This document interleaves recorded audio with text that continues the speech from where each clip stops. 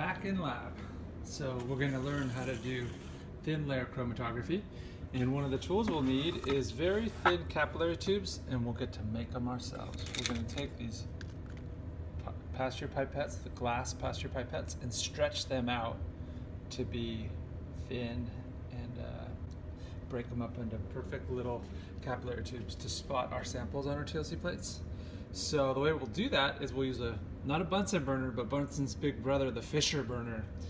And, uh, and we'll get the glass very hot and then we'll pull it and stretch it. Uh, let me show you how to do that. First we'll turn on the Bunsen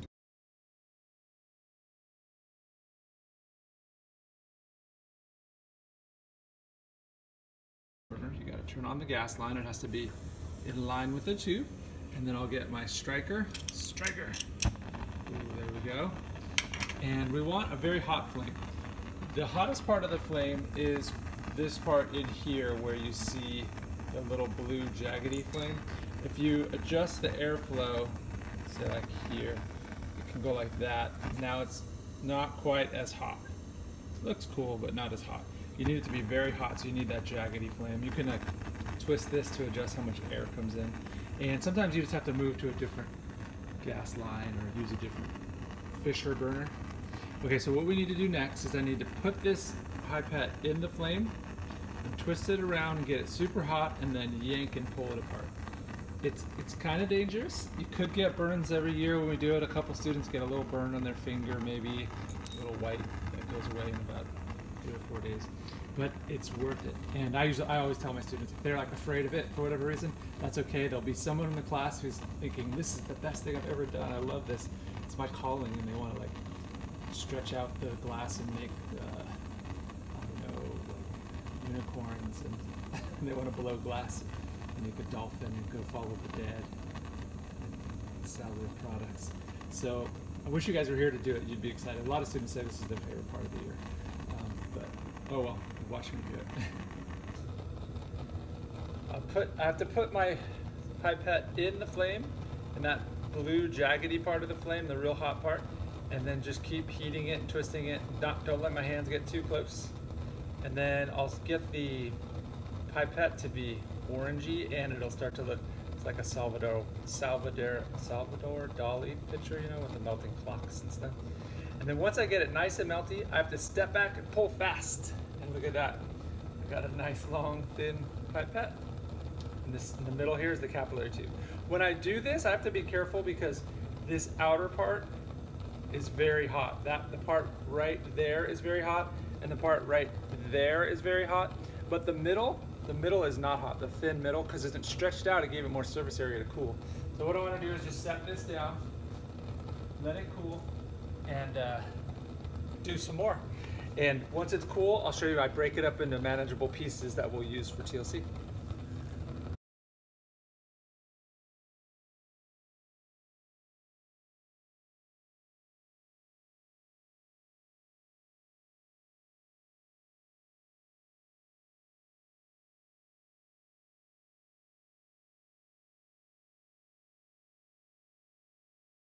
I'm gonna pull another capillary tube, but this one, I'm going to do it with a better camera angle maybe.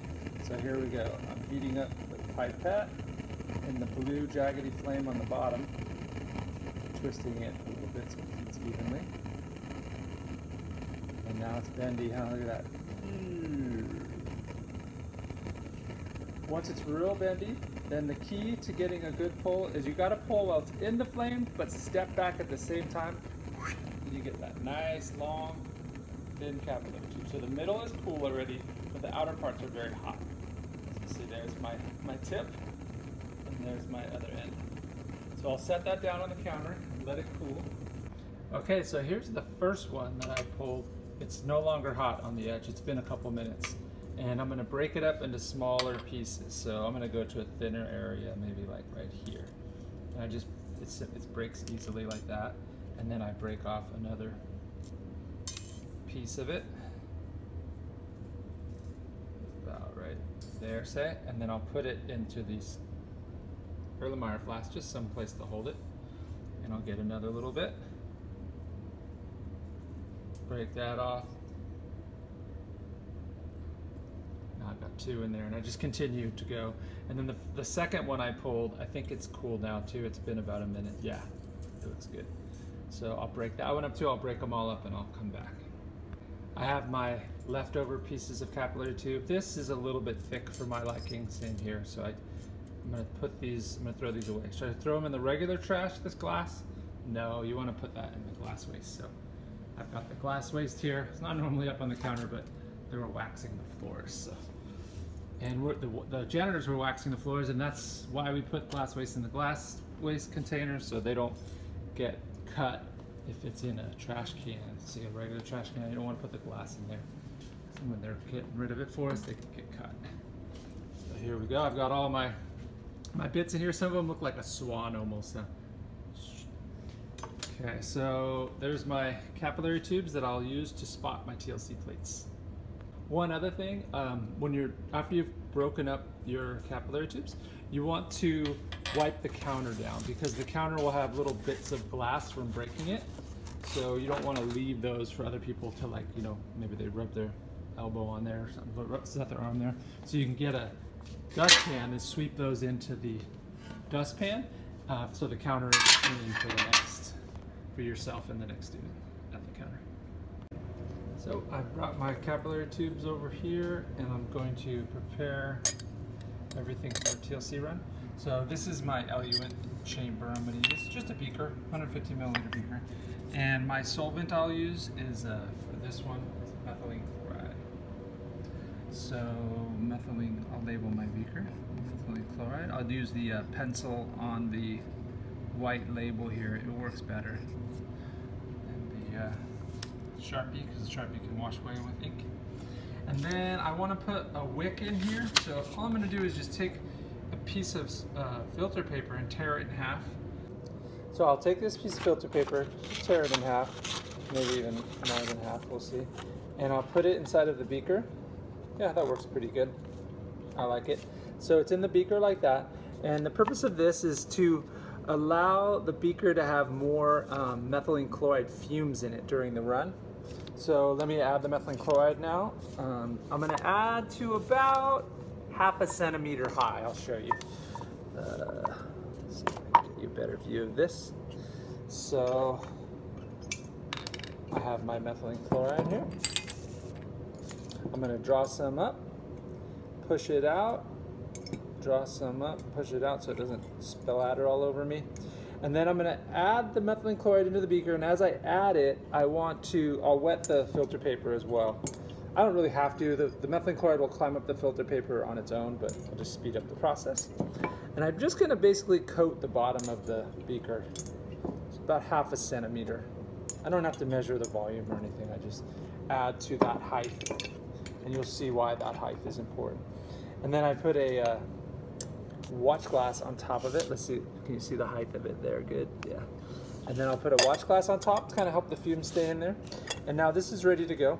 Um, let me prepare my TLC plate next and I'll explain a little more why I have that wick in there, what's, what its purpose is.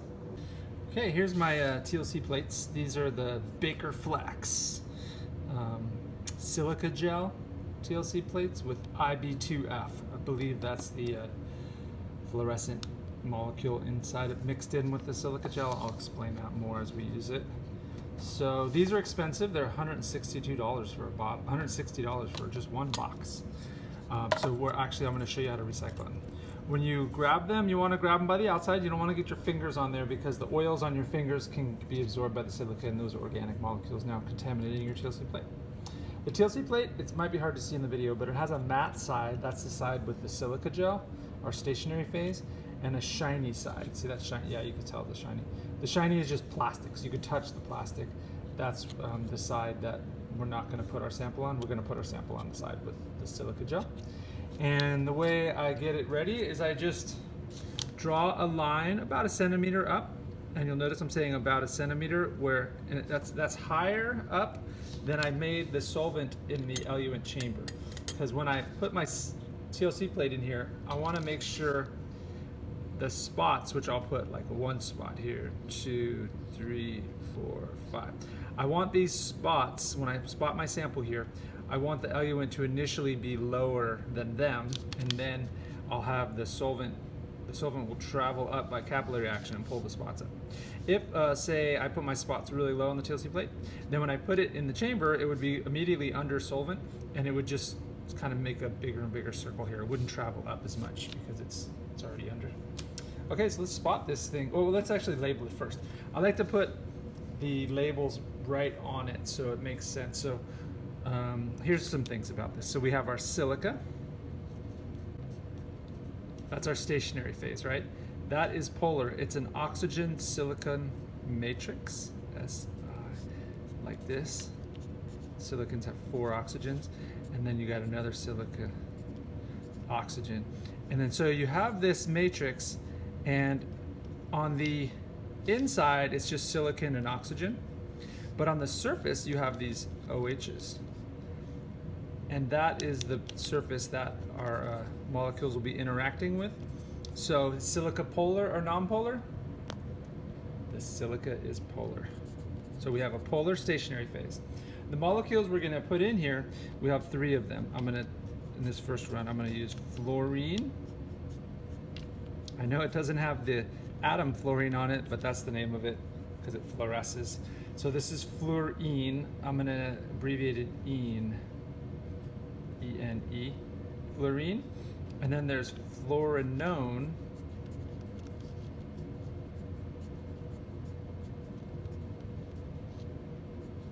Ketone version, fluorenone. And then there's going to be, so I'll call that one one fluorenone. And then the last one is the fluorenol, alcohol.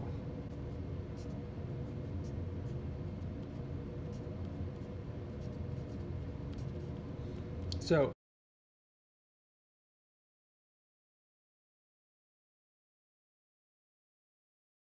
of the three of these, which is least polar? Hopefully you're guessing the fluorene's least polar. It's all hydrocarbon. And then might not be as obvious, but which one's most polar? The most polar one is the fluorenol. So of these three, who's gonna stick to the polar silica the most? I expect fluorenol will. They can hydrogen bond like that. So I think the fluorenol will stick the most to the silica, fluorenone second most, and then fluorene the least. So let's see how that will work out. First, let's label these. Let's call this spot the uh, fluorene. So I'll put E and E here. And then I'm gonna name the next one. Put the own here, fluorenone, the ketone. Okay, I have the ene, the own. I didn't have the all alone. I have the ene and ene mixed with the all. Oh well.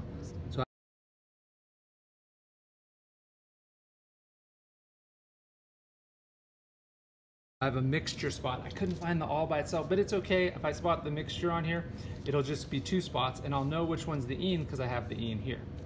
And then I'm gonna do an unknown. I'm gonna do an unknown uh, light and an unknown heavy. I'll explain what that means.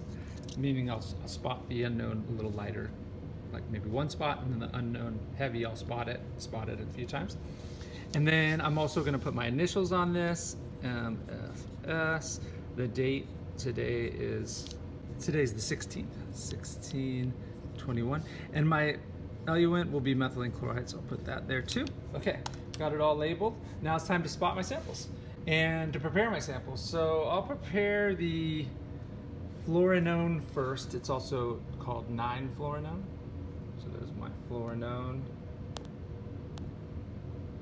And this 9-fluorenone is 98 plus percent pure. So it's at least 98% pure. It could have 2% impurities. It might be more like 1% impurities because plus, you know. Okay, so I've got a vial that I've already got labeled as fluorenone, this vial. And uh, this is, uh, I'm gonna, what I'm gonna do is I'm gonna dissolve a little bit of this fluorenone solid in acetone. So you don't need a lot of it, just a pinch. Whoops. and then, so I got a little bit of fluorenone, that's more than enough there. Nice yellow color, huh? So I got my fluorenone in there, And then I just need a little acetone. So I'll just shoot a little bit of acetone into here. This is my acetone. See if it dissolves. Yep, it dissolved right away. That looks good. So my fluorenone sample is ready. Now for my uh, fluor fluorene sample. Got some fluorene here, 98% pure as well. So let me grab my fluorene vial. There it is, fluorene. The fluorene is not a yellow solid this time, it's a white solid, as you can see.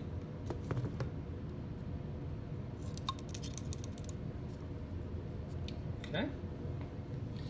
And then I just shoot some acetone in there and that one's ready to go. Is it dissolving? Yeah, it's all dissolved. Looks good. Next up, uh, I'll have, I have to do the mixture because I couldn't find fluorenol alone. Let me cap these guys too. I was being bad about that. Uh, the mixture I have, it's in this this solid leftover from a, the, the, another part of the experience. So it's fluorene and fluorenone. And so you can see the solid on the bottom. So I'm gonna put some acetone into this to redissolve that mixture of solid there.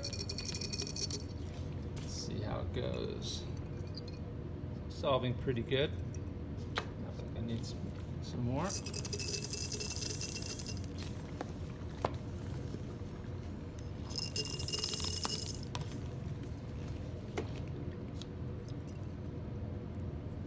Okay. Hasn't all dissolved yet, but that's fine. I, I have plenty in there. Now let's start spotting our sample. So as I said before, we need a very small amount of solid spotted. We need very small spots. TLC is a great technique in, in that it, it's easy to, to do, inexpensive, and it uh, requires very little of your sample. Because you're, usually you're generally not recovering your sample. You could actually do preparative TLC too, but generally we're not. So I'm gonna take my very thin capillary tube that I stretched out of a pipette earlier, and I'm gonna start spotting. Okay, so I'll spot the fluorene first there. So I gotta grab my vial, make sure I grab the fluorene, I did. Uncap it. And then when I stick my capillary tube into it, do you see my capillary tube? It'll, it'll draw up solution by capillary action. Let's see if you can tell that that happened. Do you see, um, maybe my hand's a better backing for this. I don't know if you can see it, but that's okay. I'll show you what I do. What I do is I tap a little bit out onto the paper towel I have here. When I tap on it, see that how it made that wet spot? So what I, I'm draining most of my solution out of the capillary tube. And if I do that, then when I go to spot on the TLC plate, it'll be a nice small spot. I want it to be small so it doesn't run into the other one. So here we go. One, two, wait, three. Did you see it? It was a tiny little spot that evaporated right away. So what happened is when I spotted, I put acetone and fluorene on the TLC plate, and the acetone evaporated. It's in, it's gone, it's in the room. So all that's left on that plate now is a, a little bit of fluorene that we're gonna run the TLC of. So the, the acetone is just a vehicle for this. And then I like to have a little waste beaker and I take my capillary tube that I just used and I break off the end of it, the little bit that had the fluorene solution, and I just toss it in the waste container. So there's my waste beaker. And now the end of my capillary tube is clean and ready for the next sample, which is the fluorenone. So let me get that one. This one I think you'll be able to see better maybe because it's yellow. Oh, you'll be able to see it drop, rise up the capillary tube better for sure. Okay, here we go. So I stick it in the solution and right away it's drawn up into the capillary tube. Whoa. Do you see how it's yellow? And now, I, if I spot right now on the TLC plate, it'll make a big spot because I have so much volume in this capillary tube. So to make my spot small, I'm gonna initially drain out a lot of it, most of it. So it's just a little bit on the end. And then when I go to spot it, it should work good. So I'm going on to the fluorenone spot and I'll just go lightly touch it, one, two, three. Nope, didn't work. One, two, one, two, three. Sometimes your uh, capillary tube doesn't break cleanly. Yeah, this one's not working. So this happens sometimes. I didn't have a clean break on my capillary tube, so let me actually, I'm gonna re-break it because it'll probably, you just kind of re-break it and hope it works better. What happened, I believe, is this. So on the end of my capillary tube, it would probably look something like this. So it broke in a way that wasn't straight across. I want it to break like this, so it's when it hits the TLC plate, it can drain out. But if it hits the TLC plate and the liquid is up here and just that glass is touching it, it doesn't drain. So that's okay.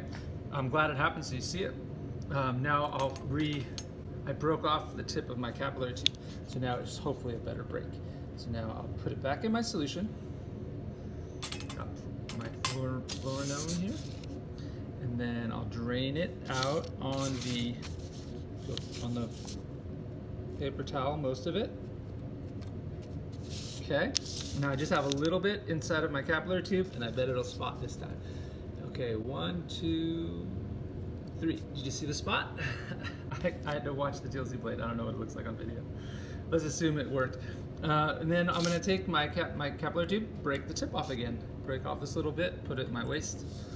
And then I move on to my next sample, the combo one. This is the fluorene fluorenol mixture. That one. take the cap off, get my capillary tube, and stick my in, my capillary tube in there. I drew some up by capillary action, like how trees absorb water up their roots. Okay, so first again, drain a bunch off onto the paper towel. Now I just have a little bit there and I'm going to spot it right on the fluorene, fluorenol spot. One, two, three. I think I did a little bit. Did I? Ah, it might not be working. I can't tell.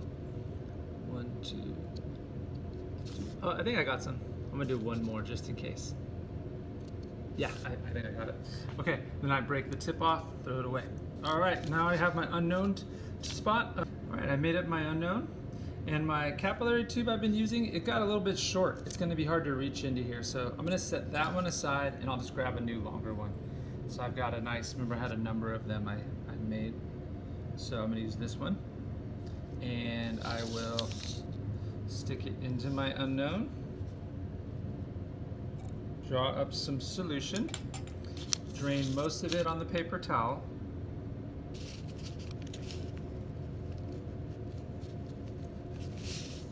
Okay, and then I'm going to do heavy and a light spot.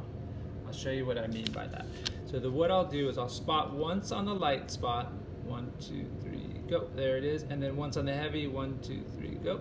And now the light spot, it evaporated all the acetone and I think it's got enough on there. But the heavy spot evaporated the acetone as well. But I'm gonna spot again right on top of that first one. Two. Let it evaporate one a little bit. Once it's gone, then I spot again. So the heavy one has three spots in my sample. I do this just in case uh, it's a dilute sample or you might find like an impurity you hadn't seen before you see when it's heavier. Oh, we are ready to go now. So let's stick this in our chamber. Oh wait, actually before we stick it in the chamber, let's, let's check to make sure we have spotted enough of the samples on here. This is our TLC um, box to view the TLCs with ultraviolet light. So this has a, a lamp here, has two light bulbs in it, and it's just in a hole inside of a box. So it's like dark in there when you put your sample inside of it. And you can look through here at it. Um, so what I got here is ultraviolet um, light short a long wavelengths, it's like it's 350, 65 nanometers. And then I have the short wavelength, 254 nanometers, higher energy. The short wavelength's the one that usually shows up the best, but I like to check them both because some molecules will look different under long wavelength. The way you turn it on is you just press and hold on for a second, and it should be on, let me see. Yep, it's on. And then I will take my, my uh, TLC plate, stick it inside the box, and look at it through here. Let me see if it looks good for you guys. Can you see it? Let me, I think I have to make it darker. There it is. Okay, see? And if we zoom in, you can see that um, we are seeing a spot for the fluorene, fluorenone, fluorene and fluorenol mix and the unknowns. Looks good. So now I know I have my samples on there and I can run them. Um, how does this work? The way, the reason why we're seeing these right now is because the silica gel has a, a pigment in there that when the ultraviolet light hits, it makes it fluoresce all colors of the rainbow.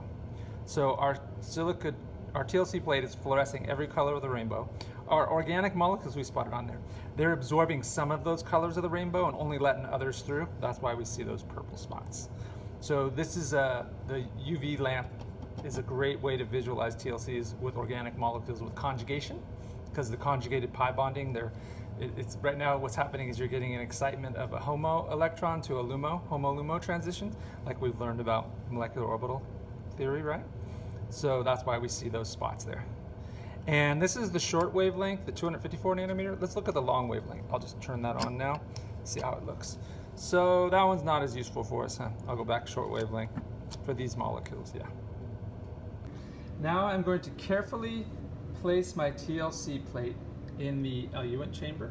I'll take the watch glass top off initially, grab onto it with tweezers, and I will set it in here in a way where it leans against the glass beaker um, and doesn't touch the filter paper, the wick. So let me set it in there. And watch when I set it in, the spots should be above the solution? They are, yeah, let's see. Oh, sorry, I don't have a good camera angle. See how the, the solvent is, is below the line where I spotted? So that's good. And now I'll put the cap back on and I'll let that um, methylene chloride climb up the TLC plate by capillary action. And as it does, it separates out the molecules because we know that the fluorenol, the most polar one, is going to stick the most to the polar stationary phase. Fluorenone will stick the second most and fluorene will stick the least. So we'll separate them out. And then after we've run them, we'll put them back in our UV lamp box and uh, see what's going on with them. So the methylene chloride has been rising. It's been about a minute. Yeah, you can see it there. It's already risen past the starting line. And the, now let me explain what the wick is about. So that filter paper wick on the side of there, that's not actually necessary. You don't have to have it, but it speeds up things for you. So the way it happens, the way it speeds things up is as the methylene chloride is climbing up the TLC plate, it's also evaporating away from the TLC plate. And as it evaporates away from the TLC plate, it slows the climbing of the sample of the solvent oh, eluent up the TLC plate. If I have that wick in there, it wicks TLC, it wicks methylene chloride from the bottom of the beaker and it constantly evaporates away from the filter paper. And what this does is it creates a greater vapor pressure of methylene chloride in here. So there's less evaporation from the TLC plate because there's just like a greater, it's like more humid in methylene chloride. And this cap, the watch glass also helps with that. It keeps, traps more of the uh, methylene chloride vapor. So when you put that wick in there, your TLC plates run faster. If you didn't have a wick, it would still work. It would just take a little longer to run. It's looking pretty good. I'm gonna pull it out when it gets to about that, where it says methylene chloride on the top of the TLC plate. I think that would be a good distance for the molecules to separate well. If I pull it out now, the molecules might not have had enough time to separate out yet. I've waited about three minutes and it's it's traveled up pretty far. It's, a, it's about at the methylene chloride label there. It's looking good to me. I'm gonna pull it out. When you pull it out, you want to immediately mark the solvent front because it starts evaporating right away. So let me show you how I do that. I will take the TLC plate out with a pair of tweezers and then quickly mark the solvent front. So that's my solvent front. Oh, I didn't show it to you, but because if I don't mark it right away, it evaporates and I don't know where it is. So, and it's already evaporating. You can probably see and if you shake it, it'll evaporate a little bit quicker so you can shake, shake, shake, shake it like a Polaroid picture. Shake, shake. There we go, looking good. Methylene chloride has a boiling point of 40 degrees Celsius, so it evaporates very quickly. So I think it's pretty much done. And uh, now, the moment of truth, I can put it inside of the UV lamp box and see where my spots are. So let me set it inside of there turn it on. I'm gonna do long wavelength again. The 254, I mean short wavelength, 254 nanometers. Press hold for a sec. And let's look. Oh yeah, look at that, looking good. So, see if I can get a good view on this. So, well, it's hard for you to see right now. It's kind of far. Well, maybe if I zoom in, actually you can probably see pretty good. So you can see the fluorene, it traveled the furthest. The fluorene's the lowest spot. It traveled the fur furthest like we thought. It was the, it's the hydrocarbon, the least polar. And then the fluorene, what's the next one there? Fluorene, fluorenone, it's next. Fluorene fluorenol, oh shoot, that's not fluorene fluorenol, is it? That's fluorene fluor fluorenone. Ha! I had the wrong thing. The label says it too. Shoot. So I don't have fluorenol. if I had fluorenol, it would be lower. Ah, it's always something with me, huh? So yeah, anyways. And then our unknown, it looks like we know what our unknown is, huh? The unknown looks to be fluorene, it matches up. So what I wanna do at this point is I wanna take a pencil and circle my spots while they're in the UV light lamp box. So I'd bring a pencil in and I'd circle them and then I can bring them out. Um, I, I, I need to answer that. okay, I circled my spots so you can see fluorene, the molecule that's least polar. fluorene. It traveled the highest because it was not as attracted to the polar silica. And the fluorenone traveled up less and they were separated. The fluorenone, it's got looks like it's got some sort of impurity or something. There's a little extra spot there, but this big one I believe is the fluorenone, and the fluorenone is more polar. Uh, the fluorenol, we don't have any. My bad. I thought I had it. I just misread the label. The, it even says on the bottle. It says, so silly. It says this is fluorene fluorenone. So I don't have fluorenol. That's all right. Um, now, what is my unknown? So my unknown, I spotted light and heavy. They actually turned out looking about the same. So the light one and the heavy one line up. And what do they line up with? They line up with the fluorene. So my unknown is fluorene. So you can see how you can use TLC to just figure out which molecule you have, assuming you have the known one already. Well, it's not a definite that that's the right molecule, but it's strong evidence because they have the same RF. Since these TLC plates are pretty expensive, I'm going to recycle them. I'll show you how you can do that. You can use them a few times if you're recycling. Um, so the way I do that is I prepare an eluent chamber for that recycling. I just, uh, I'm gonna use, you wanna use a polar uh, solvent with a great, uh, I forget the solvating property, so I'm gonna use acetone.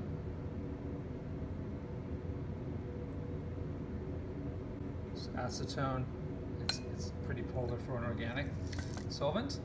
And uh, I will add a, a, wick again. And then I'll just start squirting in some acetone. And I just want to get the bottom barely coated so that when I stick it in there, I don't have too much. Uh, but my spots have already risen up, so it's not that big a deal. So then um, I take my TLC plate and I will set it in in a way that they're not touching the, it's not touching the wick. And then I'll cap this and I'll just let it sit aside. I'll let that solvent run all the way to the top of this TLC plate and if it runs to the top of the TLC plate for a long time, it doesn't really matter because I'm gonna, what's gonna happen is all the spots that I circled, those organic molecules are gonna move up to the top of the plate and then I could spot new samples down at the bottom and reuse it. Here's my recycling uh, TLC plate in acetone. So might, you might be able to see, it's almost to the top. I think it just reached the top, the acetone. So I'll pull it out and I'm gonna look at it under the UV light to see what happened. So here it is, it's coming out. It's wet with acetone currently, but acetone evaporates pretty quickly, about as quickly as methylene chloride. So I can shake it Shake it like a Polaroid picture. Here we go. So I think that's pretty good. And I'll put it back in my UV box and show you what's going on. So I'm gonna use the short wavelength again, the 254 nanometers, press and hold. Okay, so see what happened there? my spots that I had circled, this, those are now no longer have organic compound. All my organic compound is raised to the top, up above, so I can spot new samples down below. What I'll do is I'll circle where the, the organic spots are currently, and so I know I don't want to mess with that. And let me show you outside of the box. So this is where all my spots went to. The acetone has a is very polar and it pushed it pushed the spots from here all the way up to here. They're all on top of each other right there. So I know they're there, and so I'll just kind of like mark this off, knowing that's like the dirty end. And then, um, oh, you know what? Before I erase, I'm gonna recycle this. I'm gonna erase everything, but I almost forgot. I need to measure my my spots and my solvent front for the RF values. So let me get a ruler for that. Oh, I got one right here. There we go. So Silly me, almost forgot. So the solvent front looks to be at about five centimeters. Let me uh, down a little better. I'm gonna call this 4.9 centimeters. So the solvent front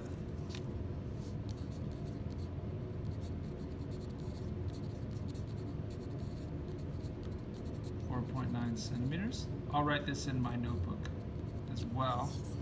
And then I'm gonna measure the fluorenone in the middle of the dot. That's where I'll, I'll measure it. So from the starting The way I recycle it is I just lightly erase the pencil markings. It seems kind of crude, but it, it actually works well.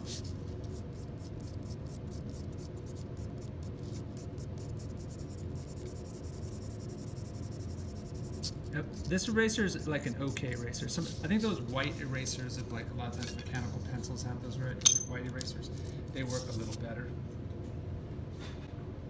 This will still work. Because if there's a little residual pencil on there, it doesn't matter. And then down at the bottom, I'll erase the uh, markings there too. So I can relabel it with new samples. And actually, I'll go ahead and use this plate for the next one. I'll recycle it.